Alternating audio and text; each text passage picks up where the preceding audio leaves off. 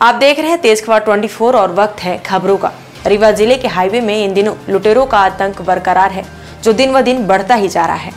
यहाँ हाईवे में लगातार हो रही वारदातों के बाद भी पुलिस लुटेरों का अब तक कोई सुराग तक नहीं जुटा पाई है, जिससे बदमाशों के हौसले इस कदर बुलंद हैं कि वह लगातार वारदातों को अंजाम दे रहे हैं।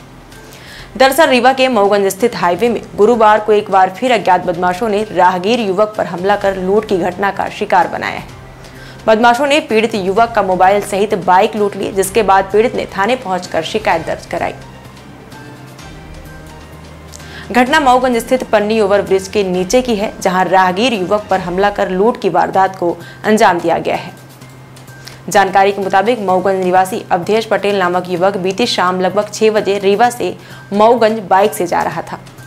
पीड़ित बाइक सवार जैसे ही मऊगंज थाना क्षेत्र के पन्नी ओवरब्रिज के नीचे पहुँचा, तभी तीन की संख्या में आए अज्ञात बाइक सवार युवकों ने उसे रोक लिया और बिना कुछ बातचीत किए ही उसके साथ मारपीट करने लगे।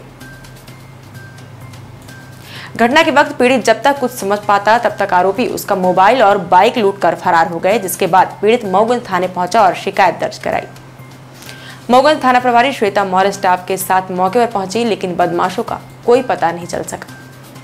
बता दें कि इसके पहले भी मऊगंज थाना क्षेत्र में बाइक सवार बदमाशों द्वारा लूट की कई वारदातों को अंजाम दिया गया है लेकिन अब तक किसी भी वारदात का खुलासा करने में पुलिस सफल नहीं हो सकी है। फ़िलहाल एक बार फिर हुई बाइक सहित मोबाइल लूट की वारदात के बाद पुलिस बदमाशों की तलाश में जुटी हुई है।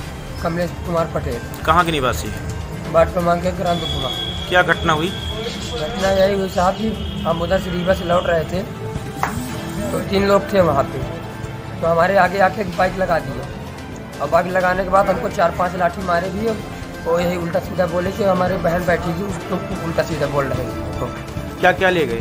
हमारे मोबाइल ले गए दस हज़ार की और प्लस गाड़ी लेकर गए।